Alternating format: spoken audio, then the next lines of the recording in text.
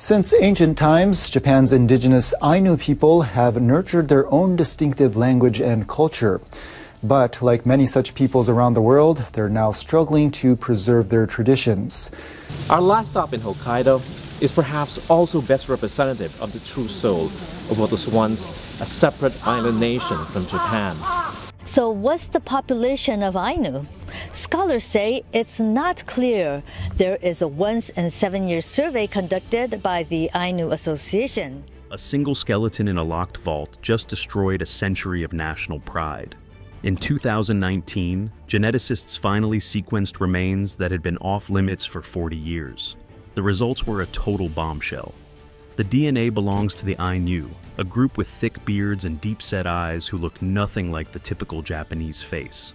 Despite piecemeal attempts to improve their situation, such as an Ainu-specific 1974 welfare program, Ainu living standards have lagged behind those of other Japanese. This discovery proves that the first people of Japan were systematically erased and pushed to the edges of the map. It is a mystery involving ancient migrations and a modern-day awakening that is changing everything we thought we knew. The story of Japan's true roots starts right here, ancient markers found at last. Deep beneath the University of Tokyo, in a research wing that feels more like a prison than a lab, a secret was waiting to be found. Dr. Hiroshi Tanaka sat in front of a glowing computer screen, his hands shaking as the data loaded. He was looking at the DNA results of a skeleton that was 3,800 years old. For nearly 40 years, the Japanese government had banned anyone from testing these remains. They told the public they were just being respectful to sacred sites, but people in the science world whispered about a different motive. They believed the government was terrified of what the DNA would say. If the results went public, they would fracture the very idea of what it means to be Japanese. When the sequencing finally finished, Tanaka felt like the air had been kicked out of his lungs. The genetic markers on his screen did not match the people living in Tokyo or Osaka today. They belonged to a group of people who, according to the official history books, should not have been the original masters of the land. These codes were foreign to everything he had studied, yet they were ancient and persistent. In that moment, he realized his discovery would do more than just end his career. It would force an entire nation to look at a truth that had been buried under centuries of silence. The skeleton was from the Jomon period, a time long before the famous samurai, or the emperors we know today. Most people are taught that the Jomon people simply evolved into modern Japanese people, but here is the catch. The DNA proved that the Jomon are actually the direct ancestors of the Ainu, a group that has been treated like outsiders for a long time. This means the people who were pushed to the cold northern corners of the country were actually the first ones there. For a long time, the government pushed a narrative of a single pure race. But the crazy part is that these bones tell a story of replacement and erasure. Tanaka knew that if he shared this, it would be like dropping a bomb on a hundred years of national identity. The markers he saw showed that the Ainu were a foundational group, a unique branch of the human family tree that had been living on the islands for 30,000 years. This was not just a small detail or a minor mistake in a book. This was proof of a massive cover-up involving the very origins of a nation. As he scrolled through the data, he saw markers that are barely found anywhere else in the world today. It was like looking at a genetic time capsule that had been locked away for four millennia. He had to decide if he would keep the secret or let the truth break through the walls of the laboratory. But the secrets in that lab were just the tip of the iceberg. Secret notes Japan tried to steal. To really understand why these DNA results are such a big deal, we have to go back to the year 1865. A British explorer named Thomas Wright Blakiston was traveling across the northern part of Japan. He had already spent time in big cities like Tokyo and Kyoto, where he saw people who looked like what we expect today.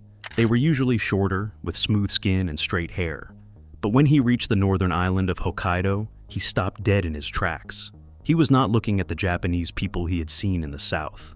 Standing before him were men with massive wavy beards and thick hair covering their arms. They had deep-set eyes and strong frames that reminded him more of people from Europe than from East Asia. The women had blue tattoos around their mouths that looked like smiles, a symbol of their rank in history. Blakiston was totally confused. He wrote in his diary that these people looked more like his own countrymen than the people in the capital. He spent weeks drawing sketches and taking measurements of their homes and tools. These journals were filled with details about a culture that was completely different from the rest of Japan. The Ainu did not grow rice. They hunted bears and fished for salmon. They believed that every tree, river, and animal had a spirit inside it. But as Japan started to modernize, these notes became dangerous. The new government wanted to show the world that Japan was one unified nation with one type of person. They did not want anyone to know about a group of people who looked and lived so differently. There are stories that officials tried to take Blakiston's notes and photos to hide them from the world. They wanted to erase the Ainu from the map before anyone else could see them. Hands down, this was one of the first times the world almost learned the truth, but it was quickly pushed under the rug. Blakiston's descriptions of the Ainu were so detailed that they threatened the official story. He saw that the Ainu were the true owners of the North, and they had been there for a very long time. For the next hundred years, the government did everything it could to make sure the Ainu disappeared. They banned their language and forced them to take Japanese names. They even made it illegal for women to get their traditional tattoos, the goal was to make everyone look and act exactly the same so that the Ainu would just become a memory. But you cannot erase blood, and you cannot hide the truth forever. Even with the notes hidden, the physical proof could not be ignored. Replacement without a war. The real mystery is how the original people of Japan were pushed to the edges in the first place.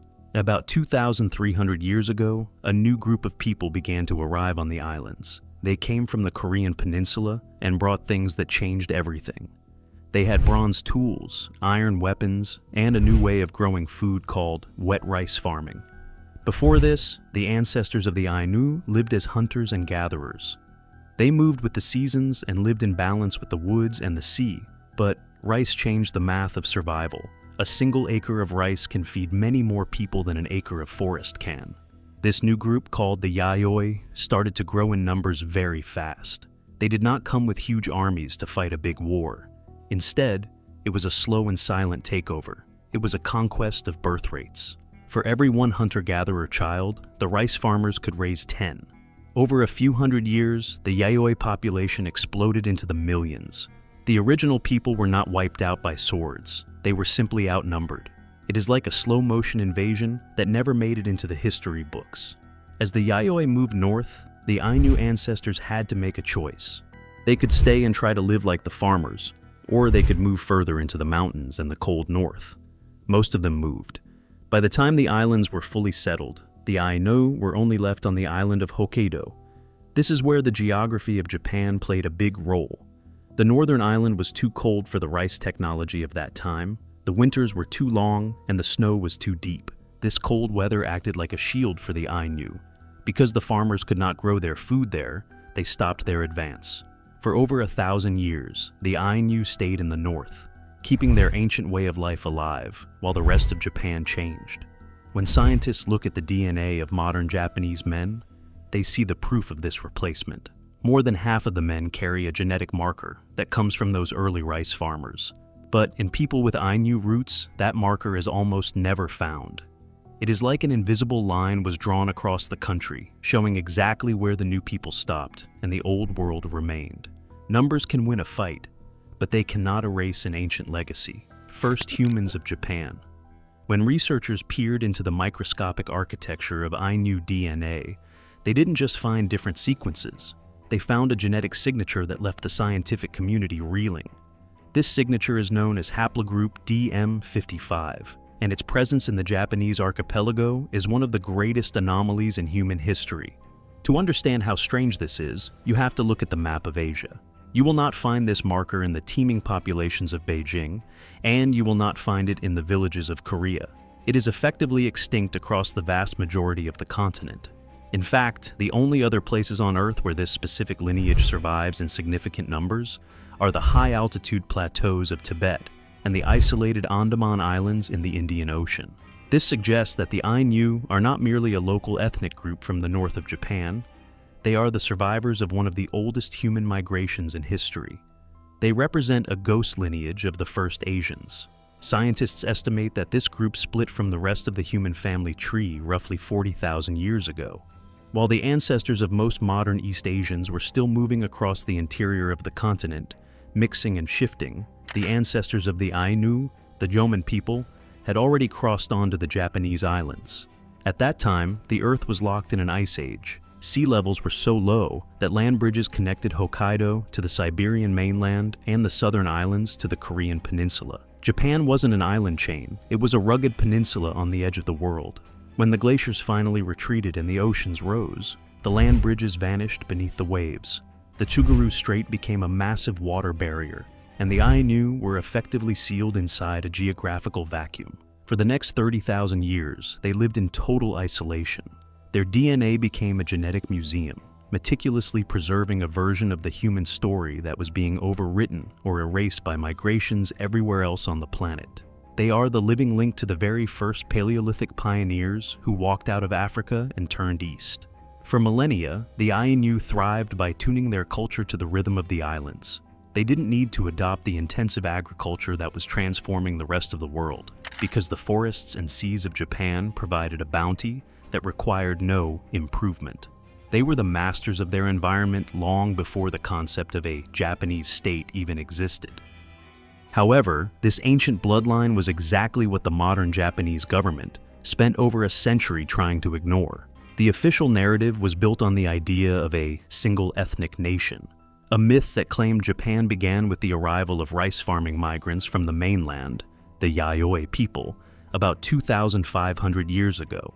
To acknowledge the Ainu was to acknowledge that the Japanese state was built on top of an older, more indigenous civilization. The Ainu were not just a minority, they were the original foundation of the entire country, a fact that was politically inconvenient for a nation trying to forge a new, unified identity. The most startling revelation, however, has come from the people living in Japan today who have no idea they are connected to this ancient past. For decades, the government pushed for assimilation, encouraging Ainu families to hide their heritage to avoid discrimination. They wanted the Ainu to disappear into the modern Japanese population. But DNA does not forget. In 2012, a landmark genetic survey conducted by the Japanese Archipelago Human Population Genetics Consortium revealed something that sent shockwaves through the country.